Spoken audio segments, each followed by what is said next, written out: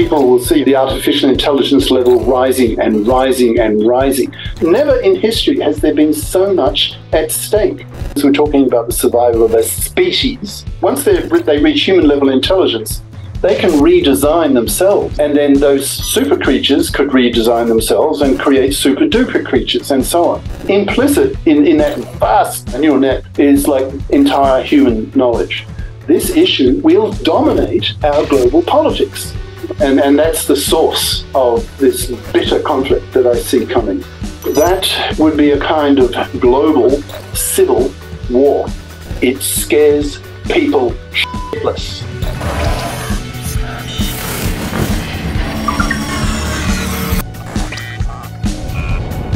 humanity will be asking do we build gods or do we build our potential exterminator? Talking about the possible death of billions of people.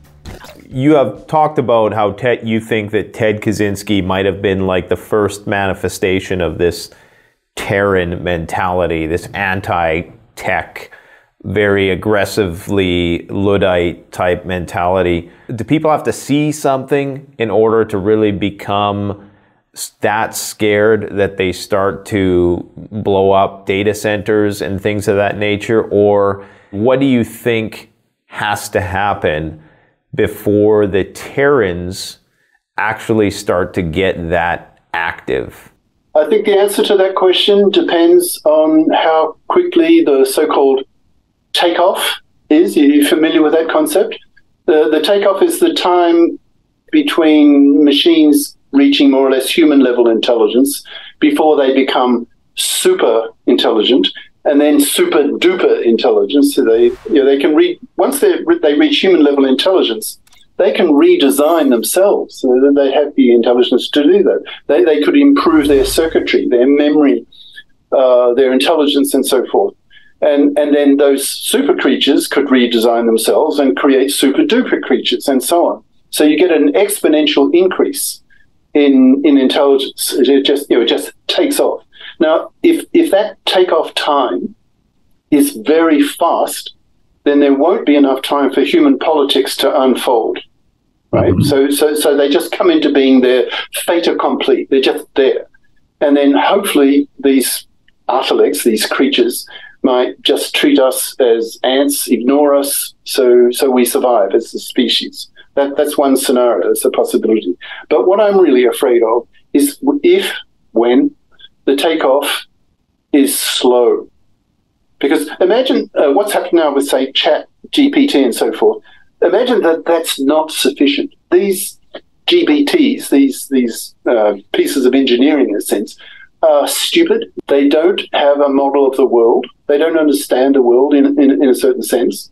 The major reason why people are so shocked by Chat GPT is that it can write essays at a level superior to about 90% of humans.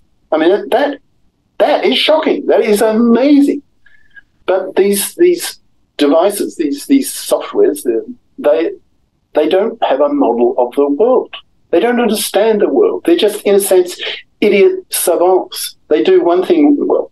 So they can manipulate images, make text, uh, generate speech, and so forth. So you can actually communicate with them. So in that sense, that's amazing for people. But they're not like our human brains. It's a different kind of intelligence.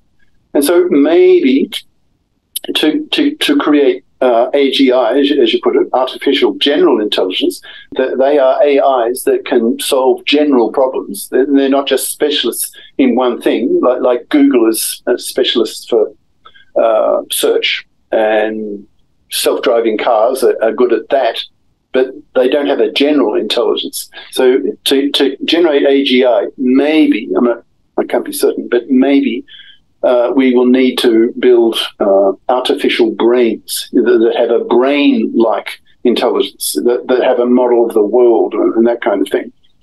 And and doing that will be very difficult. You know, so we're saying a bit before, but, you know, there's 86 billion brain cells in, in the brain and with a quadrillion connections. So, so maybe building human level intelligence and hence artificial brains, maybe, is a very difficult problem. So there'll be plenty of time for human politics to unfold. And, and people will see, or millions of people will see year by year, the artificial intelligence level rising and rising and rising. So there'll be lots of time for people to ask those you know those questions I mentioned before. You know, are these machines going to reach human level intelligence? Could they go beyond us? Could they go be way beyond us? And, and I'm saying yes, like trillions and trillions of times above us, and so on. And and that's a real threat. And so uh, I see political parties being formed over this issue. In fact, there is already a political party in the US, the, the Transhumanist Party. So uh, as as this species dominance debate heats up, I can imagine there'll be uh, Cosmist parties and Terran parties and cyborg parties and so forth. Why? This issue will dominate our global politics because never in history has there been so much at stake. And, and what's that? Well, the survival of the human species. So if, if there's a major war, this Artilect war that I'm predicting be- between the cosmists and the Terrans, that would be a kind of global civil war, you know, planetary, you know, be, because the world keeps shrinking. Like like uh, I call I call this phenomenon BRAD, B R A D. That's bit rate annual doubling. In other words, the internet doubles in speed every year. And, and, and I don't see any limit to how small you can put one bit of information on. I suppose you could go right down to quarks or gluons. Or, you know. so, so I see this BRAD, B-R-A-D phenomenon uh, just continuing for you know, many, many years, decades. So imagine, well, it's, well, almost impossible, but try to imagine what an internet that was a trillion times faster, you know, the bit rate, the, the number of bits you could transfer. What could you do with such, you know, such a thing? Well, uh, well before a trillion, you you could present uh, three dimensional images to everyone. I mean, if you think about it, just watching something, what's happening? You're getting a zillion photons coming into your eye from from the real world. Well, if you could simulate that, if you, if you could have a zillion photons coming into your eye from a machine, you wouldn't be able to distinguish reality from well, reality, right? VR against our R. I mean, the, the, very concept of reality would sort of disappear in a sense. So, uh, with this fabulous uh, super uh, um, internet coming, uh, I, I, see the world you know, culturally homogenizing, world language. Uh, we, you know, will be pretty much the same. Ideas would travel across the planet easily. Everyone would speak the same global language, etc. So uh, a global state that I, that I call Globa, G L O B A. And in that context, you know, hopefully no more wars except for this big one. So in a global state, um, you have a global police and and uh, presumably uh, totally democratic, so you don't get a dictatorship that's planetary, but a global uh, uh democratic state. But even even with those guys, this Artilect issue, you know, species dominance issue, will not go away. I, I, I see it just dominating. And so, if, if there's a major war in that context of a, of a global state, it would be a global civil war and you know, hence hence the hence the doom and gloom. And I, you know, I thought my age, given my age, I would not see it. I'd see I'd see the Artilect debate heat up. I certainly imagine that. But now with the rise of ChatGPT, and the, the large language models, and the computing capacity now is pretty well equal to that of the human brain in, in terms of bits per second. What's, what's an artificial neuron? So imagine just a circle and lines converging into that circle. Those lines, they represent signals, you know, voltages coming in, you know, pulses of electricity those signals coming in, they're, just a number, like you know, the voltage number.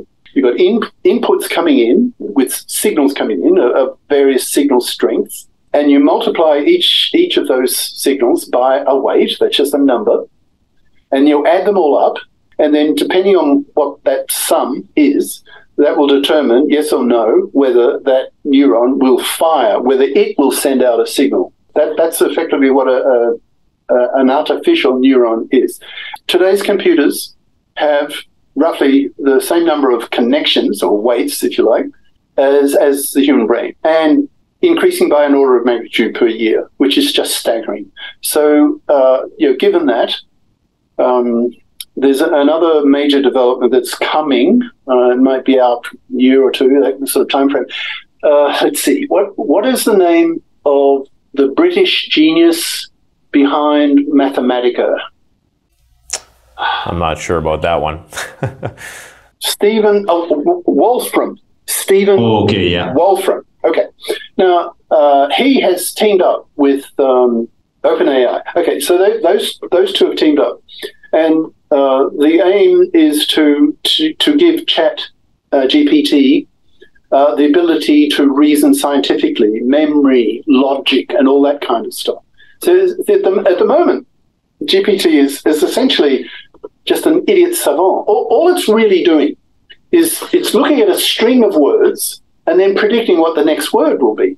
You know, and, and it does that based on you know, massive statistics that uh, it's created by reading you know, the whole internet and millions of books and so on. So it's built up all these statistics on what the probability is. You know, given these words before, what's the next word? Just, just so. So, what is a GPT?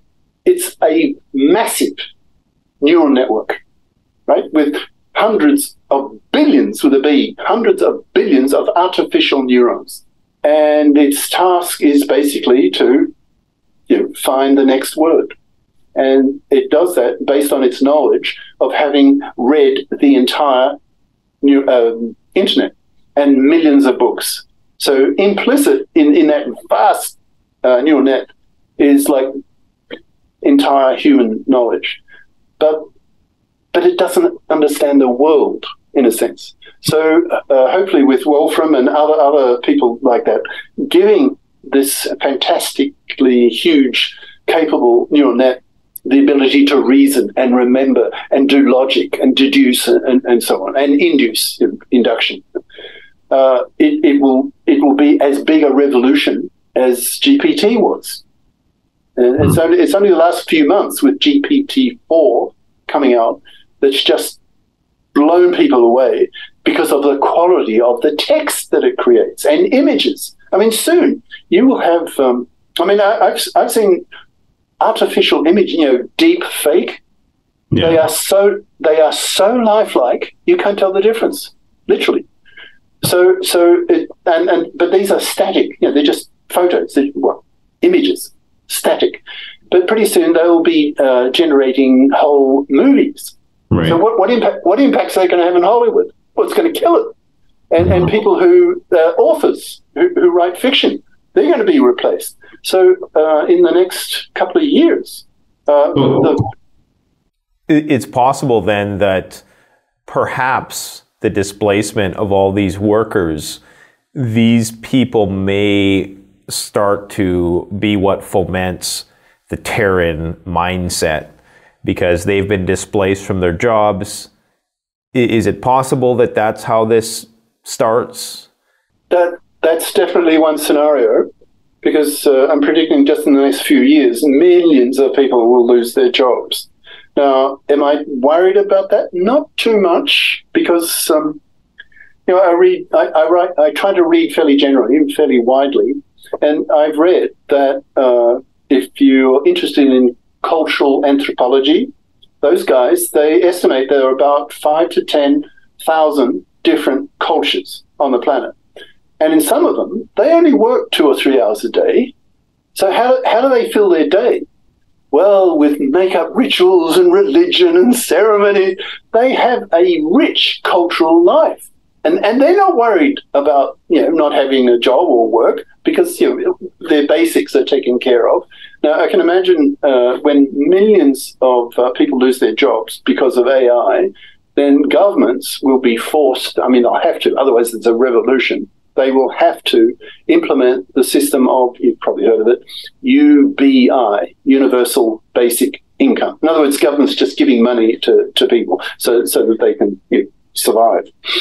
And, and, then once they have, you know, the, people are not threatened by the, you know, mm-hmm. uh, threat to their very existence. It's not an existential threat to them. So they just develop other things. They'll become like these other cultures. So, so I'm not too worried about uh, mass um, unemployment. And, and, and I see that coming because as, as machines progressively become more intelligent, then there will be a human employable threshold intelligence needed. So if, if you're going to rem- remain employable, you'll have to have a very high IQ because machines are getting smarter and smarter every year.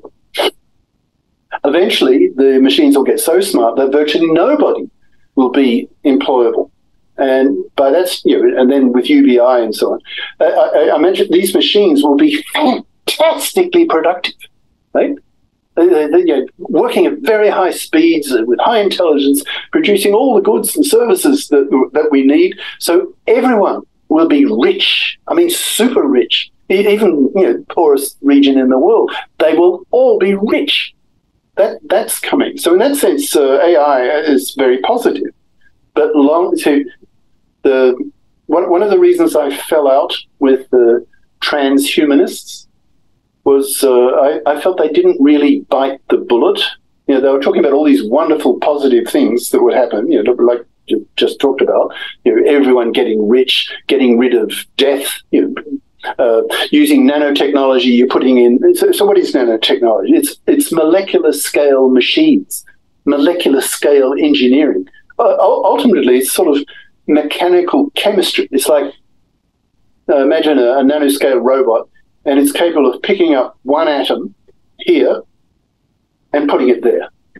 Yeah, I've seen I've seen the nanoscale 3D printer concept, and you know the the machine that you just type what you want and it builds it from atoms. Right. So uh, I don't know if you're a fan or was a fan of um, Next Generation Star Trek series, uh, the the Replicator you know, so Captain Kirk or whatever goes, goes up to the wall and says, Earl Grey tea. And so you know, his tea just gets manufactured, you know, atom by atom uh, at, at, high speed. And so the whole concept of scarcity in the 24th century, you know, when, when, Star Trek is supposed to take place, uh, it becomes irrelevant because mm-hmm. you know, so so AI could produce all that. And I, I don't deny that. I, I, think in that sense, AI will be a wonderful thing for, for humanity. But what really worries me is the bigger, deeper, longer term question of species dominance. You know, and then you start arguing as a Terran. Well, these creatures could, they have the ability to get rid of us. And, and what is an acceptable risk? And given the stake is the whole planet, you know, survival of the whole human species, the only risk we will accept is zero. And, and that's the source of this bitter conflict that I see coming. And uh, as you talk about the fait accompli, which is the perhaps what, what do you think that singularity where the AI becomes conscious? What do you believe has to happen for that to happen? Like I've I've been thinking lately about robotics and how perhaps these language models need some sort of sensory modality to have a interaction with the world like maybe once it gets integrated to the robot level where it can interact and then it starts to I mean, there's Blake Lemoine who's talked about the Google DeepMind, how it was worried about, you know, its own survival. But is that just a, like you say, is that just it spitting out the next word in the string that it uh, predicts, or is it actually understanding that on a visceral level? Do, do you think that the integration with robotics is required for the singularity as it's often referred? Or do you think that that could just manifest in the software itself without any hardware, um, any hardware appendages uh, it's a tough question. Uh, personally, I do think that uh, it's a sufficient condition. In other words, once you know, once these GPTs and so forth, once they do get integrated into robots, you know, you have physical bodies in a sense, and they interact with the world, then they will build up a, a knowledge, a model of the world.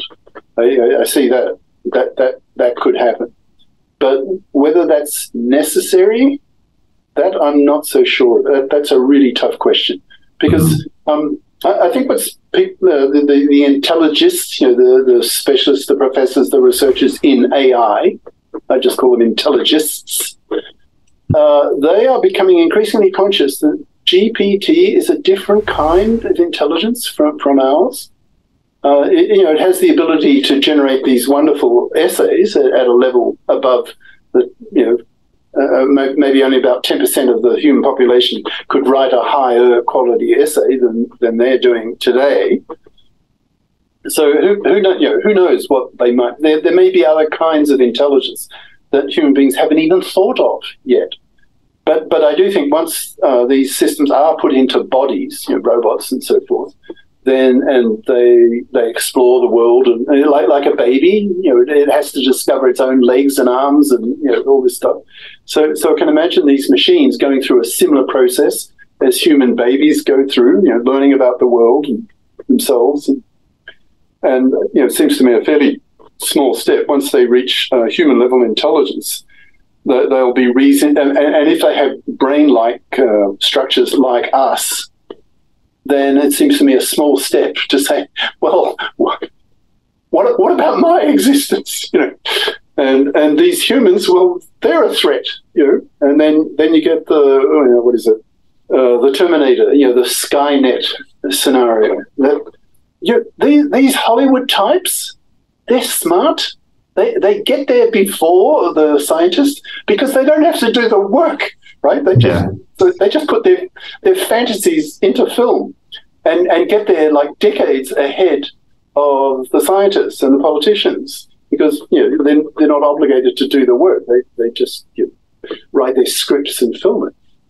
But uh, I, I do have whoever wrote the scripts for the Terminator series. I have a great admiration. I, I, I think they were visionary. There's a, there's a lot of plausibility behind their scripts.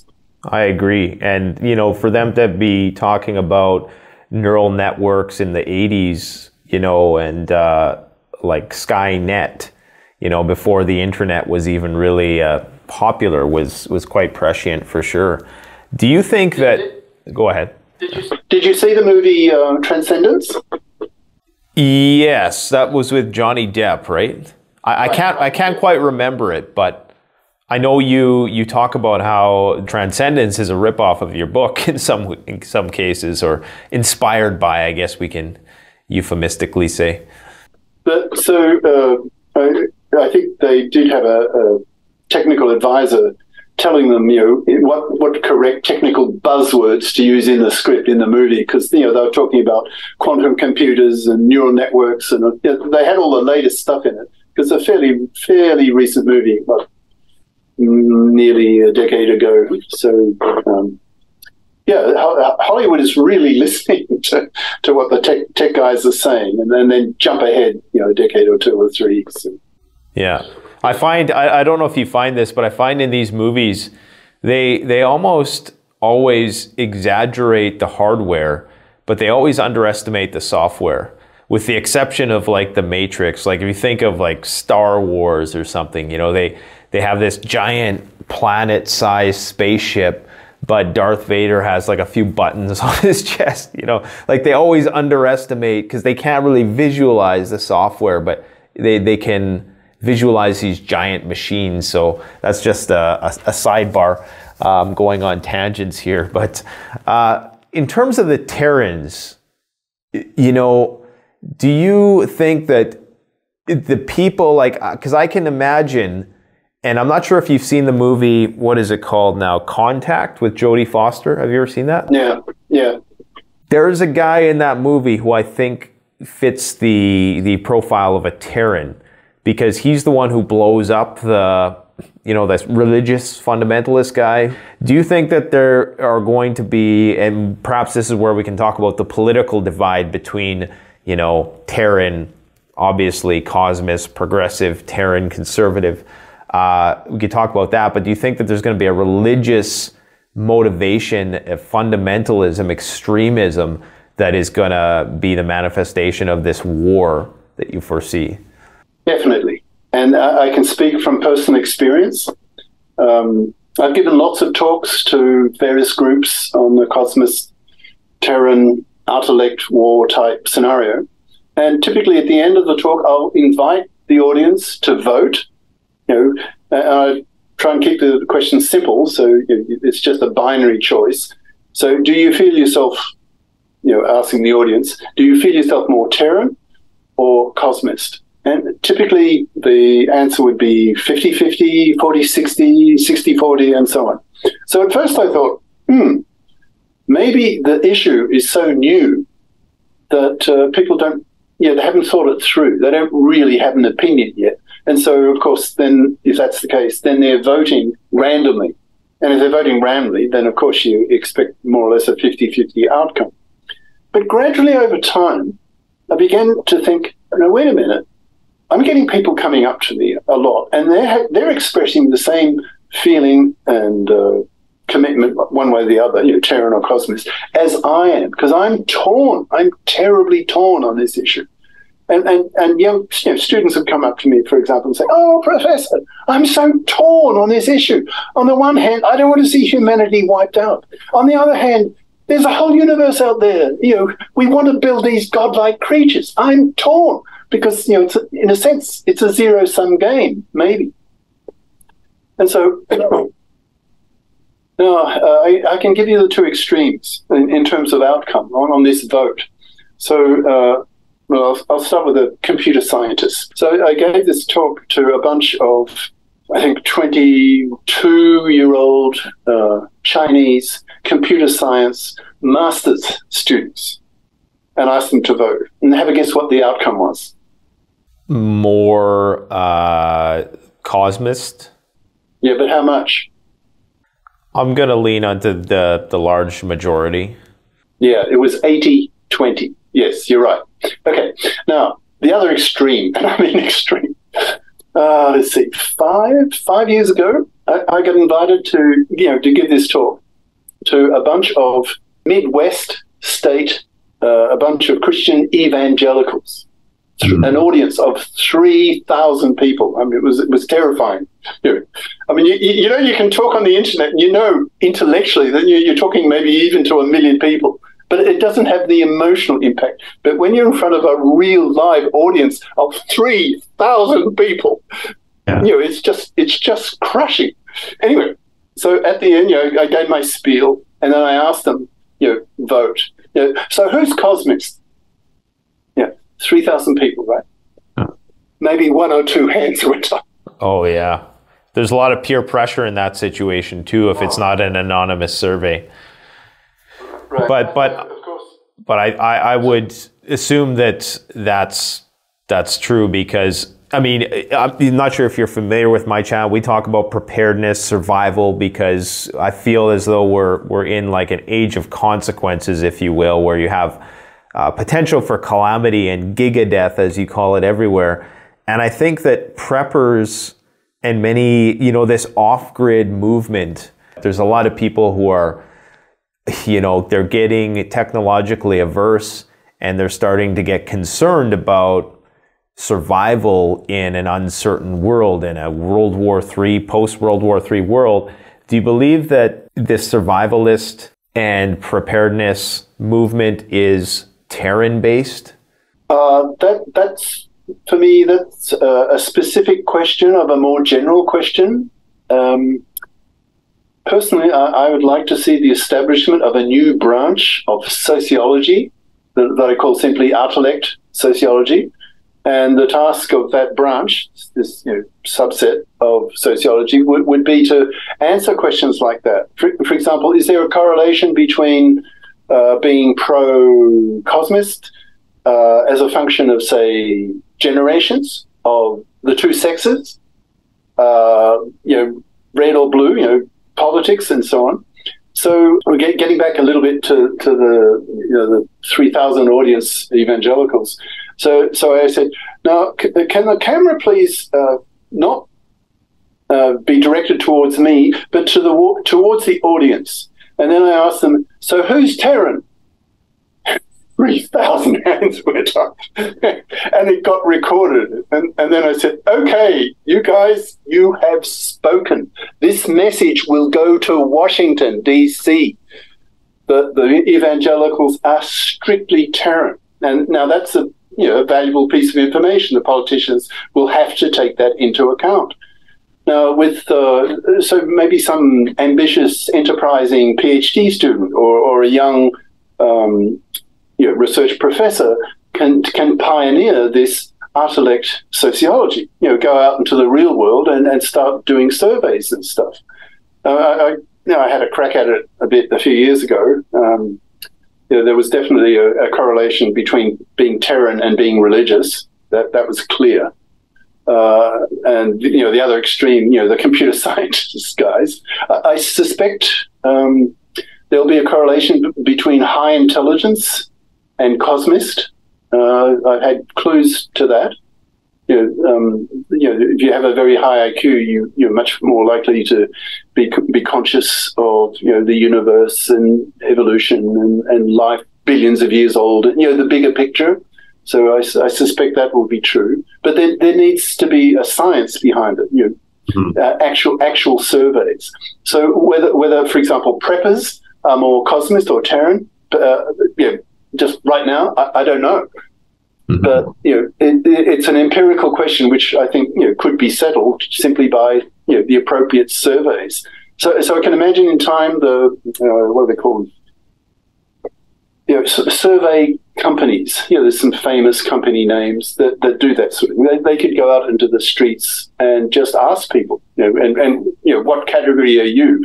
You know, uh, uh, you know, female, religious, and, and, and what's your opinion on the Terran Cosmist, you know, polarity, blah blah, and and a whole a whole new branch of sociology uh, will will spring up. That I'd very much like to see that, and I'm I'm, I'm predicting that. Uh, but I've been pushing that every couple of years. But you know, most, especially sociologists, they're not so tech savvy, and and for them, this is just science fiction. You know, they they don't take it seriously. And until now, until Chat GPT, now they are, because yeah. you know. The sociologists, uh, they tend not to be very mathematical. They're much more word. You know, they use words and now that this GPT can write essays better than most of their students, that gets their attention. Yeah. Now they have no choice but to uh, see where people might stand on the issue.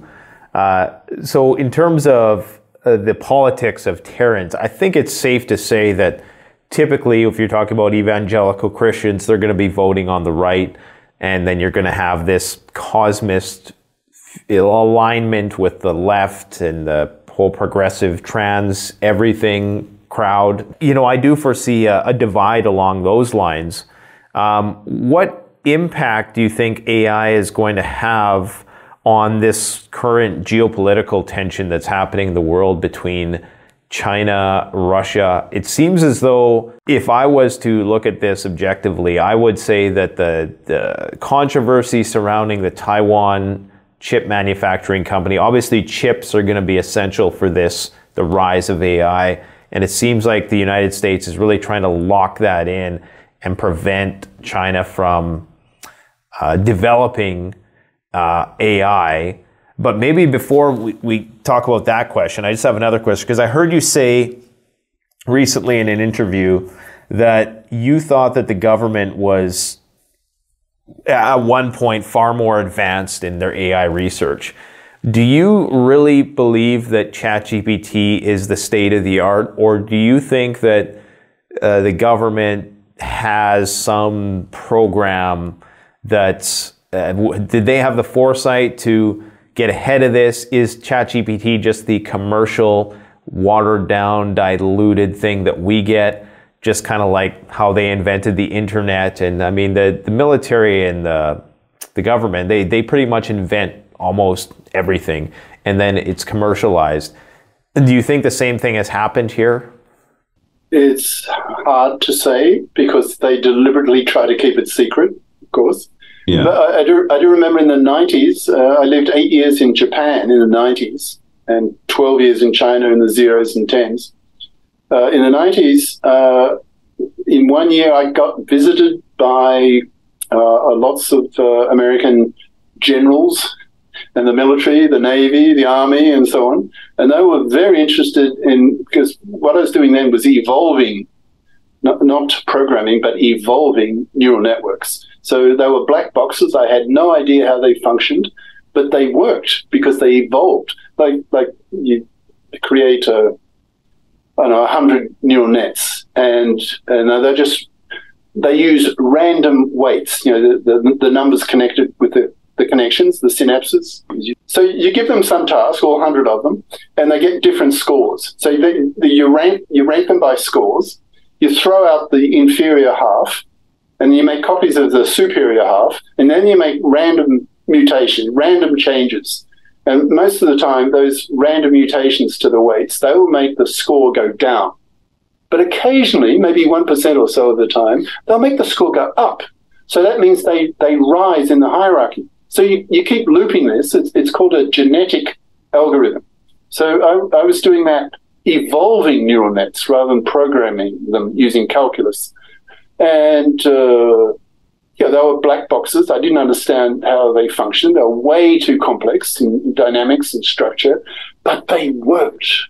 So, uh, so I got really excited. oh my God, I can evolve motion controllers you know, using these circuits. I can evolve pattern detectors. I can evolve logic circuits. So I could put all these together and make a network of evolved networks. In other words, an artificial brain.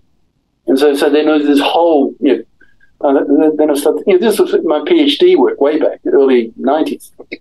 And so I was thinking, my God, you know, if, if artificial brains can be made using this technology, this evolutionary engineering, then what could it do?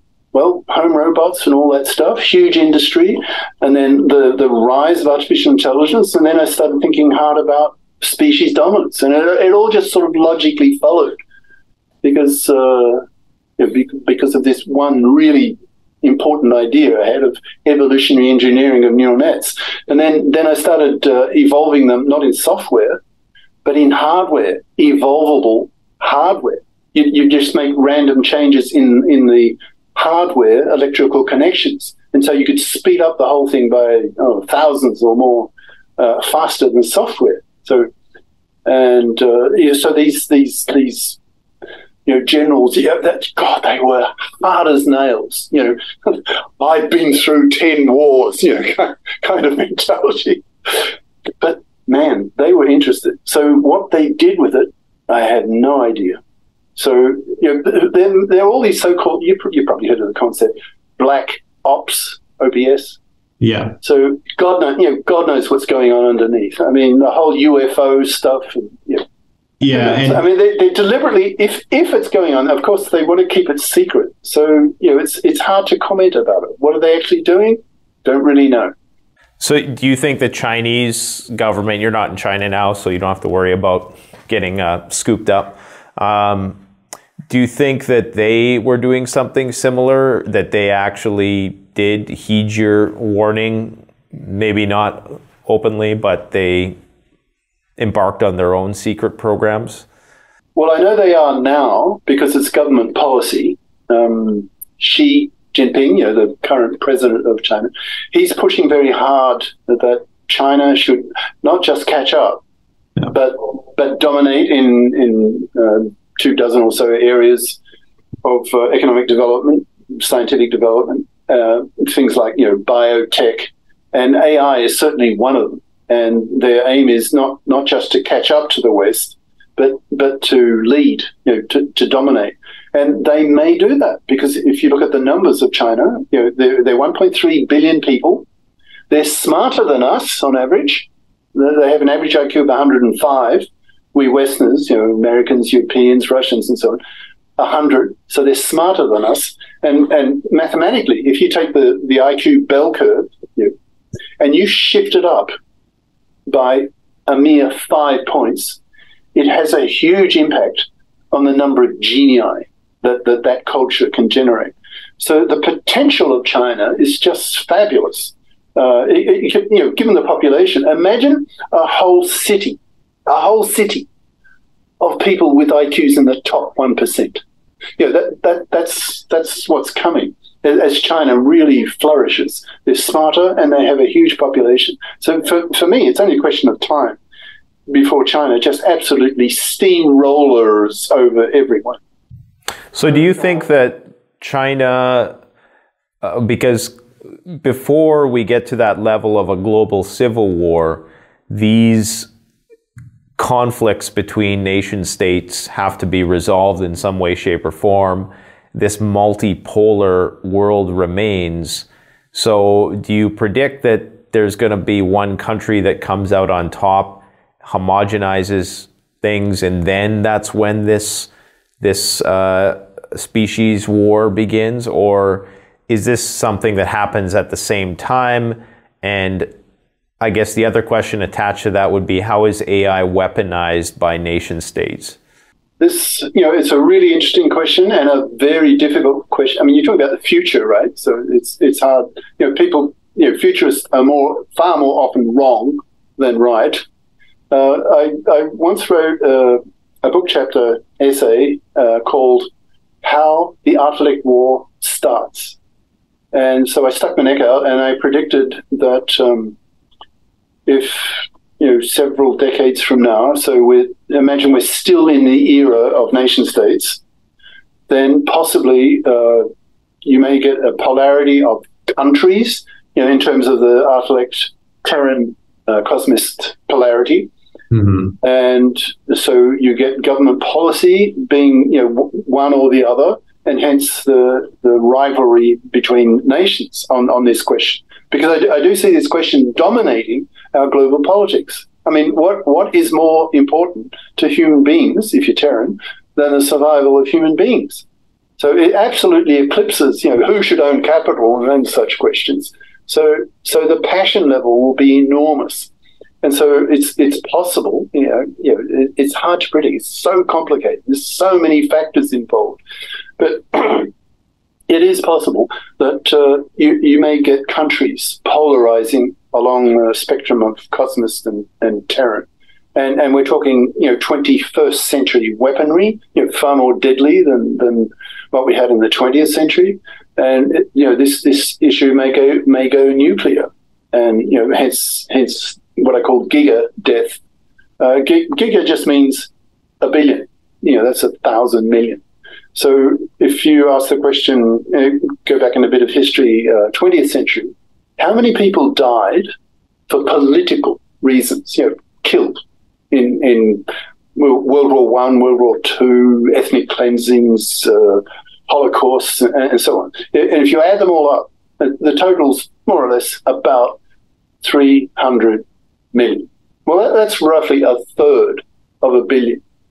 So if, big if maybe, if there's a major war later this century, you know, the, the Artilect War, then you don't have to multiply that number of a third of a billion by a big number. No, just a small number, three. And then you get to a billion. So with 21st century weapons, the, the passion level never being so high, because we're talking about the survival of a species now, not, not just the survival of a country. So, you know, you multiply by three and you get to a billion casualties.